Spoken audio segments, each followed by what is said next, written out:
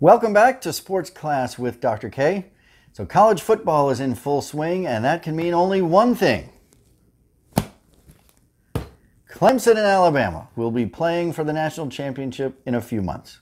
Alabama has made the college football playoff in each of the first five years of its existence. Clemson has made it for the last four years. And these two teams have played in the playoff every year for the last four years, three of those in the championship game. So, that means these two teams have dominated college football lately. You either love one of these two teams or, like the rest of us, you hate both of them. Either way, college football for the last five years means Clemson versus Alabama. So let's take a closer look into this rivalry. The two teams have played 19 times over the years. Uh, Clemson has had the better of it lately, and they had the better of it in the very beginning. Clemson won their first meeting in 1900, 35 to 0. What else happened in 1900, you ask? Milton Hershey invented the chocolate Hershey bar.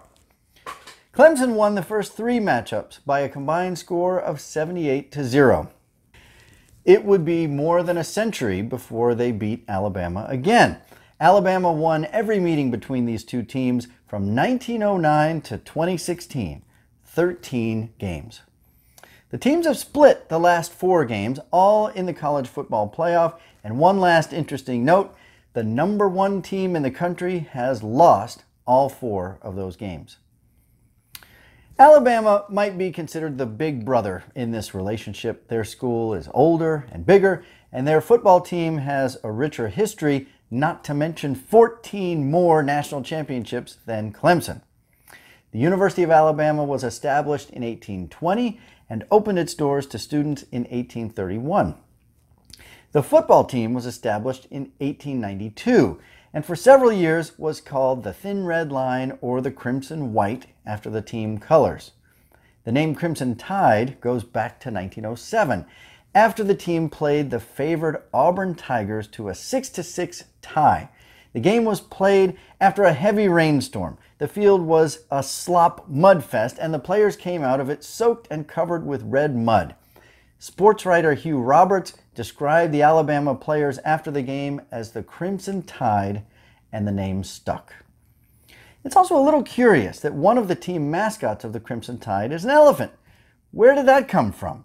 Well, that curiosity goes back to 1930, a season when Alabama went 11 0 with nine shutouts on its way to the national title.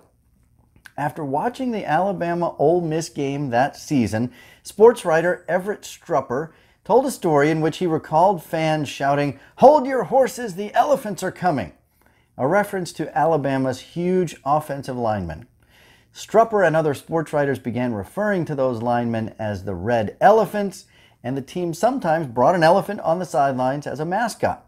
Eventually, the elephant stuck as one of their team emblems. So, Clemson is the little brother in this scenario in many ways. It was founded in 1889.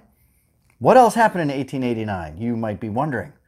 The Eiffel Tower opened in Paris. Why are the Clemson Tigers known as the Tigers? Well, that story goes back to 1896 when Clemson coach Walter Merritt Riggs brought the nickname from his alma mater, another team, the Auburn Tigers. Riggs also brought the team colors, orange and purple. So a lot of Clemson's tradition goes back to Auburn. What's the deal with that rock, Howard's Rock, uh, in Clemson Stadium? Uh, it was given to Coach Frank Howard by a friend who picked it up in Death Valley, California. The rock was first placed at the top of the hill in 1966, and players began rubbing it for good luck in 1967. Let's talk about a few more interesting connections between these two teams. Everybody knows that Clemson coach Dabo Swinney played as a wide receiver at the University of Alabama. Side note, why is Dabo called Dabo? Apparently his older brother Trip used to call him Dat Boy when they were kids in Alabama. Dabo! So everybody knows Dabo played at the University of Alabama, but did you know five different Clemson head coaches played their ball at Alabama, including their three winningest head coaches Dabo, Frank Howard, and Danny Ford. These two programs lead the way in terms of current NFL players. 31 former Clemson Tigers are currently in the NFL, including quarterback Deshaun Watson and wide receiver DeAndre Hopkins. For Alabama, there are 62 former Crimson Tide players in the NFL. That's double the number of Clemson players, including wide receivers Julio Jones and Amari Cooper. So, it may feel like Clemson is the little brother in this relationship, but they have owned college football for the last several years. Trevor Lawrence and company seem destined for another title this year, unless Nick Saban has something to say about it. I think we have a caller. Welcome to Sports Class with Dr. K. Hi, Dr. K. I'm a long-time listener, first-time caller. Welcome. Um, I have a question for you. Is the University of Miami the best football team in Florida? No. So, who do you think is going to win the title this year? Comment below, like, and subscribe to the channel. We'll see you next time.